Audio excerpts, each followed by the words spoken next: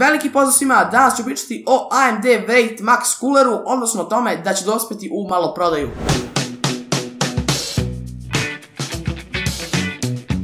Svi znamo da je AMD sa Wraithom napravio boom na tržištu. Zašto? Zato što je Wraith najbolji stock cooler i mnogo ljudi nije imalo potrebu da dokupuje druga vazdušna hlađenja ili čak vodena.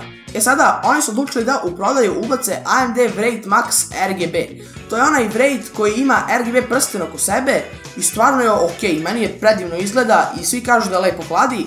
Kod nas u recenziji Master Liquid Pro 120 vidjeli ste kako je hladio AMD Wraith, pa kao što ste vidjeli performanse su sasvim zavidne za jedan običan stock cooler, ali da od vodenog ne može ni da priđe, ali opet razlika u ceni jeste primetna, ovo dobijete uz procesor, a ovo morate da kupite.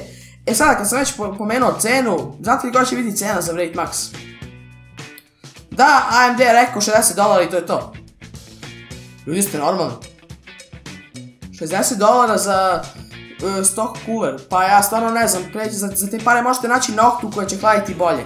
Mislim da bi AMD stvarno trebao da spusti cenu tu i da malo spusti loptu sa tim Wraith coolerom, pošto su stvarno umislili da je najbolji cooler na svetu.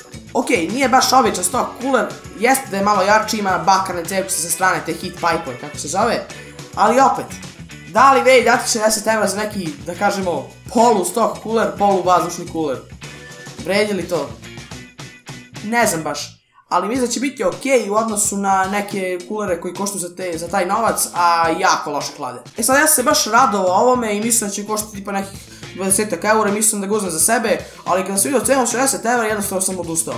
Mislim da je mnogo, ali jeste cooler odličan, vidjeli ste u našoj recenziji, još uh, Wraith Max, mi smo testirali običan Wraith, Wraith Max još bolje hladi, tako da mislim da trebamo da očekujemo nešto lepo, jedno čekam da vidim baš neki test onako kod nas, neko ko će testirati taj cooler, a mi se vidimo u nekom sljedećem videu.